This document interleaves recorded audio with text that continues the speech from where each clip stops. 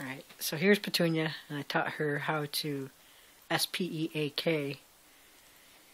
And obviously I can't say it because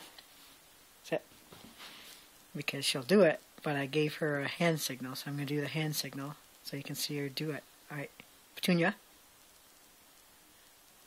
Good girl. come down, come down. Sit, sit. Do the hand signal for